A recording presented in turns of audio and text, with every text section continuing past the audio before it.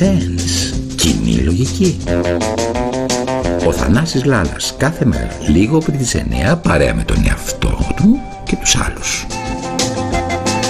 Αχ, Θεούλη μου, τι ωραία που ήταν το Σαββατοκύριακο. Ωραία ήταν, ναι. Έχεις δίκιο, πολύ ωραία ήταν. Ήμασταν, περάσαμε ωραία, ξεκουραστήκαμε, κάναμε τις συνεντεύξεις μας, κολυμπήσαμε. Όλα τα κάναμε αυτό το Σαββατοκύριακο. Όλα τα κάναμε, όλα ευτυχώς ξεκουραστήκαμε. Τώρα τι γίνεται. Καλή εβδομάδα. Σε ποιους λες καλή εβδομάδα. Στους ακροατές βρε. Είμαστε στον αέρα. Ξεχάστηκες. Έχουμε έρθει στην εκπομπή για να μιλήσουμε. Εγώ και ο εαυτός μου. Τι σε ποιους μιλάμε; Κάθε μέρα 9 παρα 10 δεν είμαστε εδώ πέρα και μιλάμε στους ακροατές. Α, ναι, ναι, ναι, ναι, το ξέχασα. Έχεις δίκιο, μιλάμε στους ακροατές. Και τι θα πούμε σήμερα, έχεις σκεφτεί πώς δεν έχω σκεφτεί, τι εννοείς, ότι ήρθα εδώ πέρα χωρίς να, να σκεφτώ κάτι, να πω στους ακροατές. Άλλωστε γίνονται τόσα πολλά γύρω μας.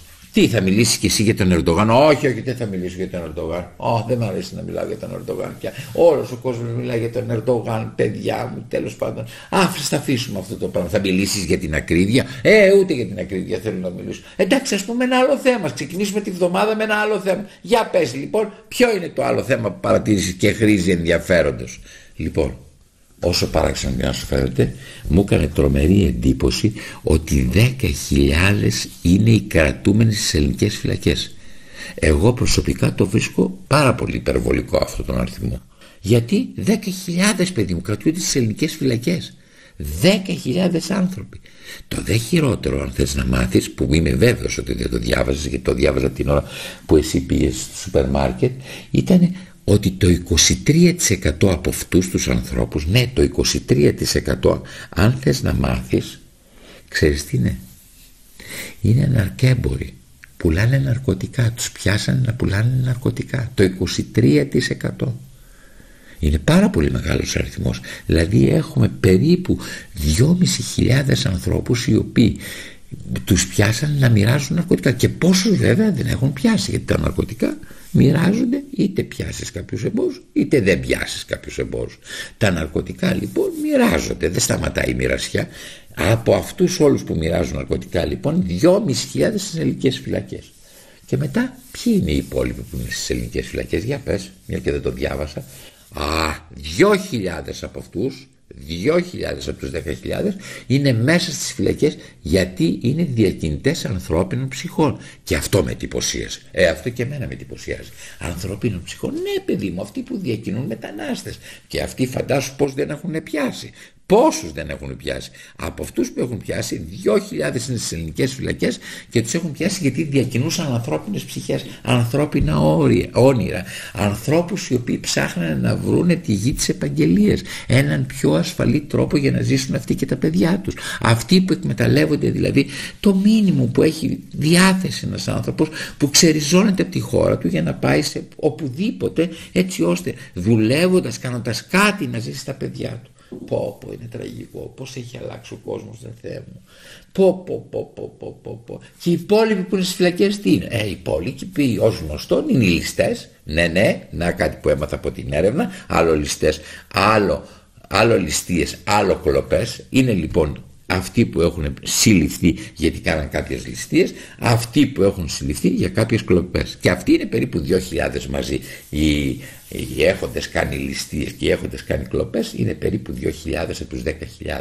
Και το υπόλοιπο τώρα από ό,τι έχω καταλάβει μας μένουν και περίπου άλλοι 3.500 άνθρωποι. Α, οι υπόλοιποι κρατούμενοι είναι αυτοί το 7,3 που είναι οι ανθρωποκτονίες, δηλαδή ναι, είναι περίπου 730, άνθρωποι, επίσης αν θες να μάθεις, μέσα στις ελληνικές πολιτικές που έχουν σκοτώσει άλλον άνθρωπο ή άλλους ανθρώπους.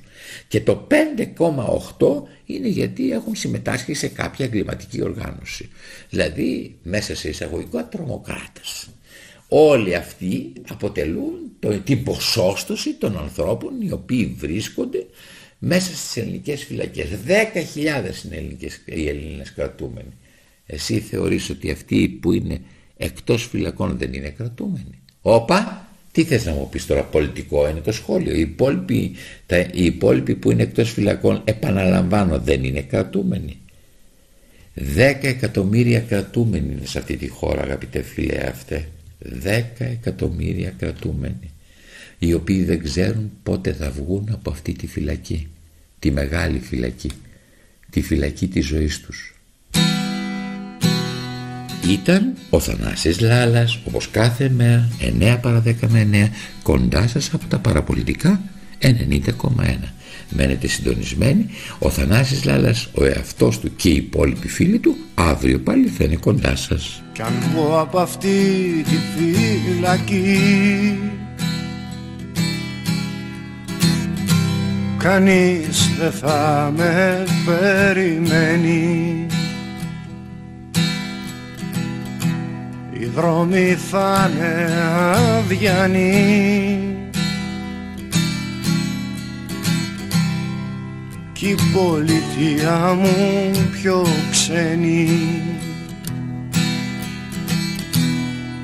Τα καφενεία όλα κλειστά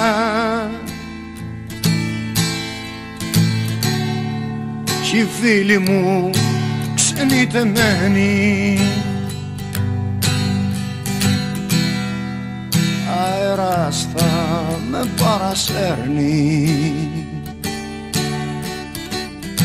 Κι αν βγω από αυτή τη φυλακή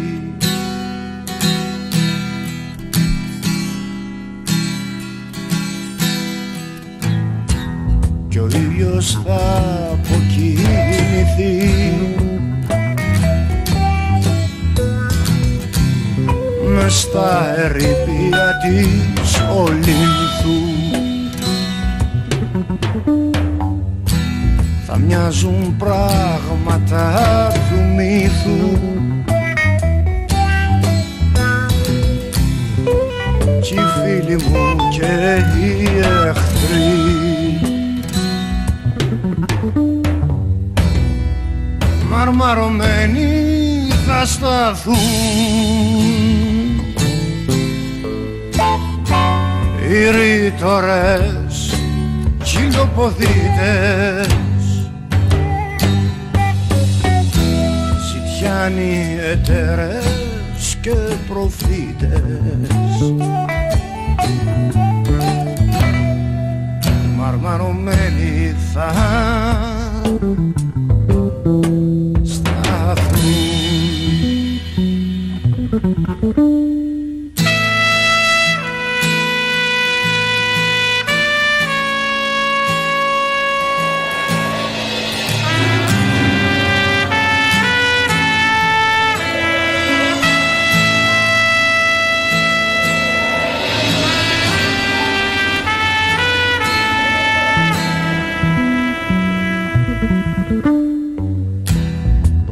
στην πύλη θα σταθώ.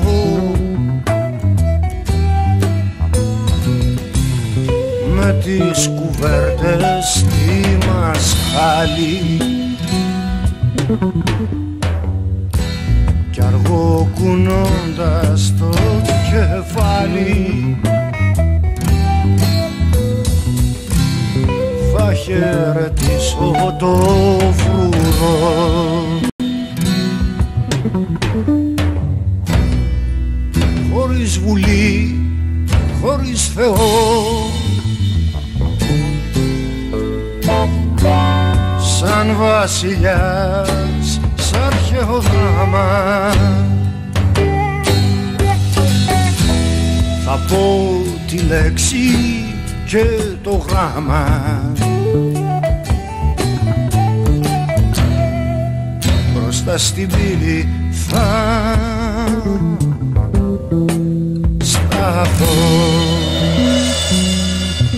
Mm-hmm.